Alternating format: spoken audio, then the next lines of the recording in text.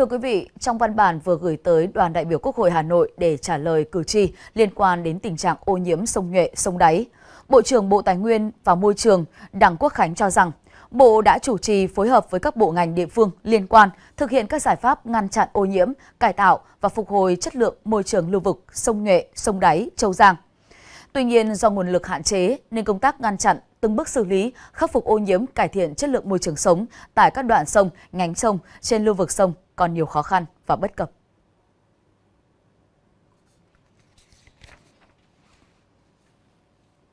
Theo đó, Bộ trưởng Đảng Quốc Khánh cho biết sẽ kiến nghị Thủ tướng Chính phủ chỉ đạo các địa phương thực hiện tốt việc thống kê, kiểm soát các nguồn thải và lưu vực sông, tiếp tục triển khai các dự án khắc phục ô nhiễm môi trường.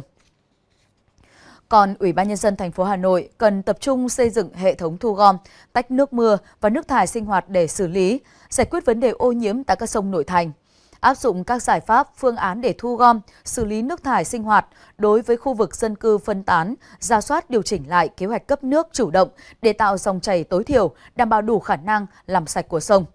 Đẩy mạnh thanh tra kiểm tra kiểm soát tại nguồn và xử lý nghiêm các khu công nghiệp, cụm công nghiệp, cơ sở sản xuất, kinh doanh, dịch vụ làng nghề, sản nước thải không đạt chuẩn khơi thông dòng chảy các đoạn sông đang ô nhiễm nặng như sông Tô Lịch, sông Châu Giang, sông Nhuệ.